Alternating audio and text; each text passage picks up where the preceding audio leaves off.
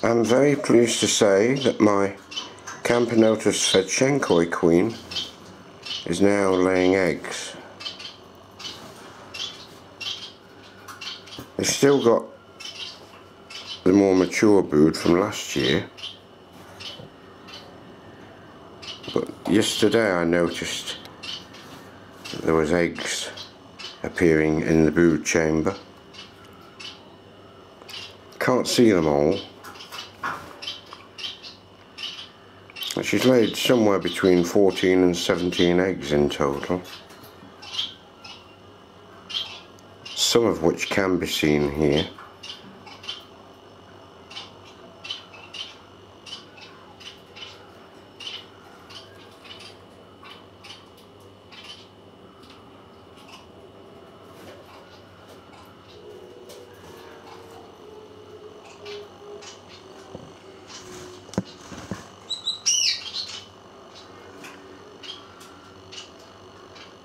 It's just difficult getting the camcorder to focus on them. I don't believe there's any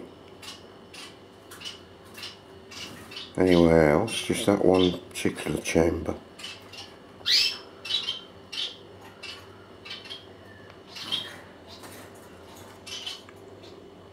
No, a quick scan doesn't reveal anything.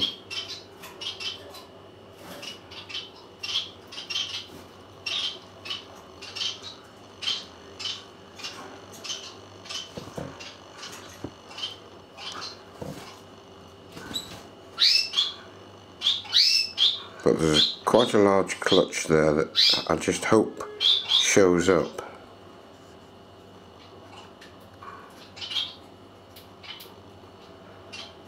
Ah, that's better. I've got the light on now, which is showing them up a little bit better. They're scattered all over the place, but as you can see, they're there.